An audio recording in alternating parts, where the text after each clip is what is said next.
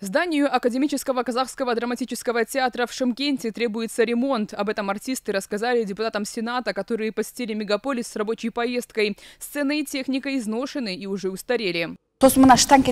Когда артисты играют на сцене, мы очень переживаем, а если что-то случится, но мы все равно продолжаем играть.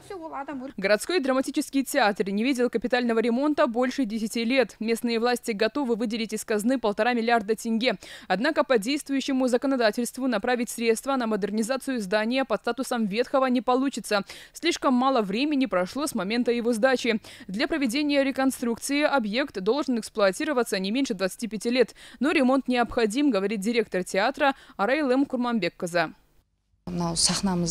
Надо модернизировать. Необходимо провести капитальный ремонт и замену верхнего и нижнего механизмов сцены, света и звукопередающих комплексов. Поверхность сцены также не соответствует стандартам. Сенатор Алишер Сатыбалдиев, который прибыл с визитом в Шымкент, пообещал оказать помощь в решении проблемы. Законы здесь будут общие, но соответствующие министерства и ведомства могут рассмотреть пути решения своими приказами или другими документами. Мы сделаем все возможное, чтобы разобраться во всех этих вопросах и принять соответствующие меры.